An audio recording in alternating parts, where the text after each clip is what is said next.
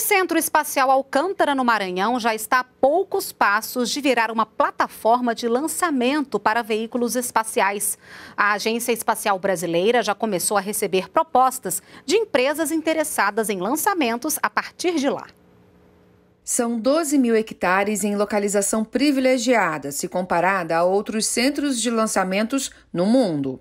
Aqui estamos a 250 quilômetros da linha do Equador, o que permite uma economia de combustível de até 30% no lançamento de foguetes em órbita equatorial. Também estamos numa região pouco povoada, com baixo tráfego aéreo e bem próxima ao mar. Outra vantagem do centro de lançamento de Alcântara é que aqui não tem nem terremoto e nem furacão.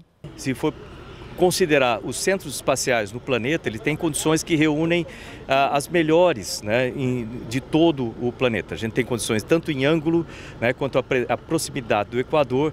Além disso, nós já temos uma infraestrutura básica formada que pode atrair empresas comerciais. A base, que pertence à Força Aérea Brasileira, vai começar a lançar foguetes de empresas interessadas em mandar para o espaço satélites e outros equipamentos. Para isso, a FAB fez um acordo com a Agência Espacial Brasileira, que ficou responsável pelas negociações e já está recebendo propostas. Esse chamamento público foi muito bom, interessante. Nós já temos gente do outro lado do planeta se apresentando, então nós acreditamos que vamos trabalhar com cerca de uma dezena de empresas interessadas, tanto de pequeno quanto de grande porte. E o planejamento da Força Aérea Brasileira vai além de apenas dar suporte para o lançamento de foguetes privados. Quando a nossa indústria, que já é altamente capaz, estiver completamente voltada para a atividade espacial, nós teremos os nossos próprios produtos, que é isso que nos interessa realmente.